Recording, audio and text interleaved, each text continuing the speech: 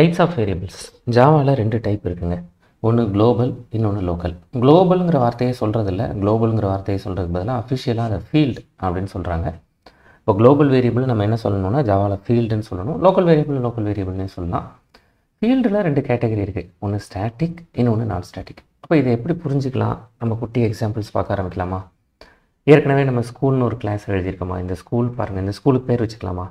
String name equals to Saint Anthony's primary school higher secondary school இப்படி பேர் வச்சுக்கலாமா? சரி இந்த ஸ்கூலோட ஸ்ட்ரீட் நம்பர் எழுதிக்கலாமா? அப்போ இந்த ஸ்கூலோட street number one two three அப்படின்னு எழுதிக்கிறேன். சரி நல்லா பாருங்கள் இது ரெண்டும் இந்த ஸ்கூல் அப்படிங்கிற இந்த கிளாஸை பற்றின தகவல். இந்த ஸ்கூலில் யார் யாரெல்லாம் இருப்பாங்க? ஆ இந்த ஸ்கூலில் டீச்சர்ஸ் இருப்பாங்கங்க. அப்போ teacher one equals to new school அப்போது ஸ்கூலோட ரெப்ரசன்டேட்டிவ் டீச்சர் ஸ்கூலோட ஃபிசிக்கல் என்டிட்டி டீச்சர் ஸ்கூலுங்கிறது ஒரு லாஜிக்கல் என்டிட்டி அதாவது கிளாஸ் ஒரு லாஜிக்கல் என்டிட்டி ஆப்ஜெக்ட் அதோட ஒரு ஃபிசிக்கல் என்டிட்டி அப்படிங்கிறதுலாம் நமக்கு புரியுது. இப்போ நம்ம ஆப்ஜெக்ட் ரெண்டு க்ரியேட் பண்ணியிருக்கோம். இப்போ இந்த டீச்சர் பற்றின தகவல்லாம் சொல்லணும்ல? அப்போ நான் அதை எப்படிங்க சொல்கிறது இப்போ டீச்சருக்குன்னு ஒரு நேம் இருக்கும்ல? ஸ்ட்ரிங் டீச்சர் நேம் அப்படின்னு ஒன்று இருக்கும்ல? அவங்க எந்த ஸ்டாண்டர்ட் எடுக்கிறாங்க அப்படிங்கிறது ஒன்று இருக்கும்ல? அப்போது அதை நான் இங்கே இனிஷியலைஸ் பண்ண முடியாது.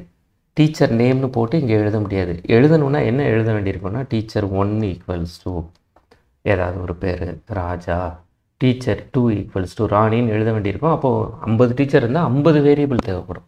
கரெக்டாக இப்போ ஸ்டாண்டர்ட்னா ஃபிஃப்த்து ஸ்டாண்டர்ட் ஏ ஒருத்தர் எடுக்கிறாங்க ஆறாம் கிளாஸ் பி ஒருத்தர் எடுக்கிறாங்க எட்டாம் கிளாஸ் சி செக்ஷன் ஒருத்தர் எடுக்கிறாங்க அப்படின்னு ஒரு ஸ்கூலில் ஐம்பது டீச்சர்ஸ் இருந்தால் ஐம்பது ஸ்டாண்டர்டுங்கிற வேரியபிள் தேவைப்படும்.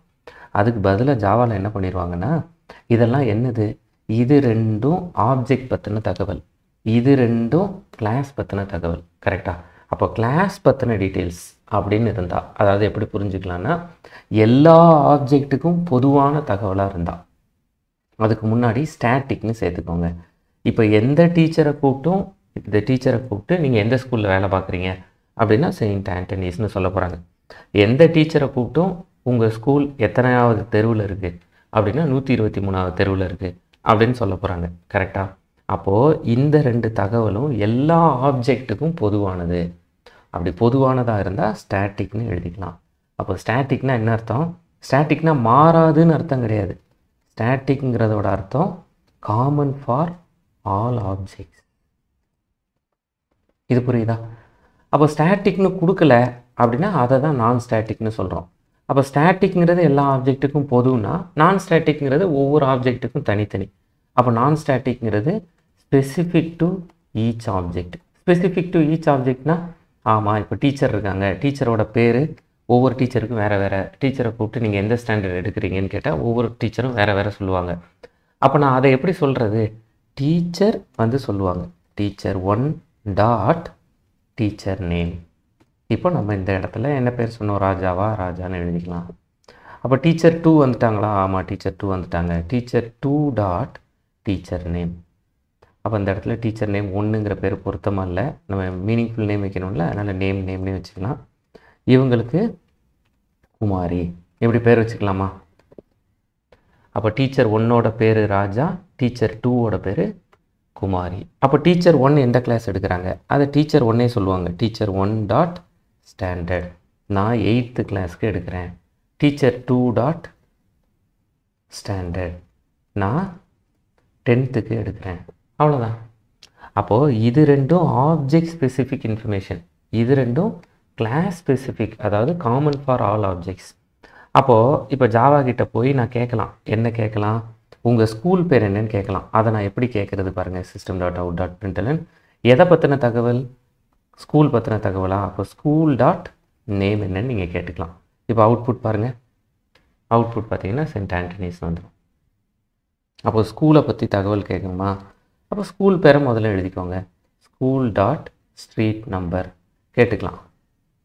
ஆனால் ஸ்கூல் கிட்ட போய் பாருங்கள் ஸ்கூல் கிட்ட போய் ஸ்கூல் டாட் டீச்சர் நேம்னு கேட்க முடியாது. அப்போ ஸ்கூல் என்ன கேட்கும்? இப்போ பொத்தாம் பொதுவாக டீச்சர்னு கேட்குறிய எந்த டீச்சரோட பேரை கேட்குற? ஸ்கூல் டாட் டீச்சர் நேம்னா எங்கள் ஸ்கூலில் நிறைய டீச்சர்ஸ் இருக்காங்க அப்படின்னு சொல்லும். அதாவது cannot make a static reference to the non static field இப்போ இந்த டீச்சர் நேம்ங்கிறதும் ஸ்டாண்டர்டுங்கிறதும் நான் ஸ்டாட்டிக் நான் ஸ்டாட்டிக்னா ஆப்ஜெக்ட் சம்மந்தப்பட்டது அதை போய் நீ ஸ்டாட்டிக்னு நினச்சிட்டு ஸ்கூலை வச்சு கேட்குறப்பா தப்பு. Cannot make a static reference to the non static field school dot teacher name கரெக்டாக சொல்லுதா? அப்போ நான் டீச்சர் நேமை யாரை கூப்பிட்டு கேட்கணும் டீச்சரையே கூப்பிட்டு கேட்கணும் டீச்சர் உங்கள் பேர் என்ன? அப்படின்னு கேட்கணும் டீச்சர் நீங்கள் எந்த கிளாஸ்க்கு எடுக்கிறீங்க? அப்படின்னு நான் கேட்கணும் அப்போ டீச்சர் ஒன் டாட் டீச்சர் நேம்னு கேட்கணும் டீச்சர் ஒன் டாட் ஸ்டாண்டர்ட் என்னன்னு கேட்கணும் அப்படி கேட்டால் என் பேர் ராஜா நான் எயித்து கிளாஸ்க்கு எடுக்கிறேன் அப்படின்னு சொல்லுவாங்க. அப்போது இதுலேருந்து ரெண்டு விஷயம் கற்றுக்கிட்டோம் ஸ்டாட்டிக் இன்ஃபர்மேஷனை ஆக்சஸ் பண்ணுறதுக்கு கிளாஸ் நேம் வச்சு ஆக்சஸ் பண்ணணும். ஏன்னா அது common for all objects non static எங்கெல்லாம் ஸ்டாட்டிக்னு எழுதலையோ அதெல்லாம் நான் ஸ்டாட்டிக் அப்படி நான் ஸ்டாட்டிக் பண்ணுறதுக்கு ஆப்ஜெக்ட் நேம் வச்சு ஆக்சஸ் பண்ணணும். இது ரெண்டு கற்றுக்கிட்டோமா இந்த ரெண்டுக்கு தான் குளோபல் வேரியபிள்ஸ் அப்படின்னு பேர் இல்லைன்னா ஃபீல்ட்ஸ்னு பேர். குளோபல் வேரியபிள்னால் என்னது? எந்த மெத்தடுக்குள்ளேயும் இல்லாமல் ஒரு கிளாஸுக்குள்ளே நம்ம கிளாஸ் ஆரம்பித்தோடனே எழுதுகிறோம்ல அதுக்கு தான் குளோபல் வேரியபிள்னு பேர். அப்போ நமக்கு இங்கே எத்தனை ஃபீல்டு இல்லை குளோபல் வேரியபிள் இருக்குது ஒன்று ரெண்டு மூணு நாலு. இந்த நாலில் எத்தனை ஸ்டாட்டிக்காக இருக்குது எத்தனை நான் ஸ்டாட்டிக்காக இருக்குது ரெண்டு ஸ்டாட்டிக்காக இருக்குது ரெண்டு நான் ஸ்டாட்டிக்காக இருக்குது அவ்வளோதான் இது புரியுதா? இது குளோபல் வேரியபிளுக்கு அப்போ லோக்கல் வேரியபிள்னால் என்னது? பாருங்களேன். இப்போ லோக்கல் வேரியபிள்ங்கிறது இந்த டீச்சர் இப்போ ஒரு வேலை செய்கிறாங்க இப்போ டீச்சர் ஒன் டாட் அப்படின்னு கொடுத்து ஒரு டெஸ்ட் வைக்கிறாங்க. அந்த டெஸ்ட்டு எழுதுகிற எல்லாருக்கும் டீச்சர் ஒரு இருபத்தஞ்சி பசங்க எழுதுகிறாங்கன்னு வச்சுக்கோம் அப்போ இருபத்தஞ்சி சாக்லேட் வாங்கிட்டு போகிறாங்க அப்போ test dot test of twenty ஃபைவ்னு கொடுக்கலாமா? இதெல்லாம் நம்ம படிச்சிருக்கோமா? இப்போ டெஸ்ட்டுன்னு ஒரு மெத்தட் இல்லை அதை க்ரியேட் பண்ணுங்கன்னு கேட்கும். க்ரியேட் பண்ணிட்டோம். இந்த டுவெண்ட்டி ஃபைவ்ங்கிறது என்னது? இந்த டுவெண்ட்டி ஃபைவ்ங்கிறது சாக்லேட்டோட கவுண்ட் சாக்லேட்ஸ் எக்ஸாம் எழுதுகிற எல்லாருக்கும் சாக்லேட் டீச்சர் கொடுக்குறாங்கன்னு வச்சுக்கோம் அப்போ அந்த சாக்லேட்ஸை நான் பிரிண்ட் பண்ணி பார்க்குறேன். எத்தனை அவுட்புட் வருது? இருபத்தஞ்சுன்னு அவுட்புட் வந்துருச்சா? இந்த இருபத்தஞ்சுங்கிறது இந்த ஆக்ஷனுக்கு மட்டும் இந்த பர்டிகுலர் மெத்தடுக்கு மட்டும் அந்த மெத்தடில் மட்டும்தான் டீச்சர் சாக்லேட் எடுத்து எல்லாருக்கும் கொடுக்குறாங்க. அதை தாண்டி வெளியில் இப்போ டீச்சர் வீட்டுக்கு போயிட்டுருக்காங்க இல்லை டீச்சர் ஸ்டாஃப் ரூமில் ஒரு மீட்டிங் அட்டன் பண்ணிகிட்டு இருக்காங்க. அப்படின்னு வச்சுக்கோங்க.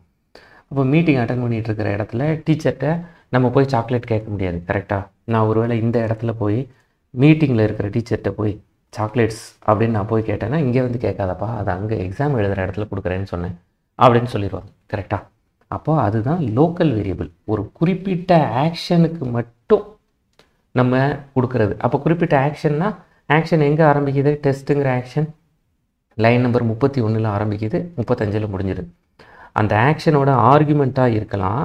அப்படி இல்லைன்னா அந்த ஆக்ஷனுக்கு உள்ளேயே கூட நம்ம இப்படி டைப் பண்ணிக்கலாம்.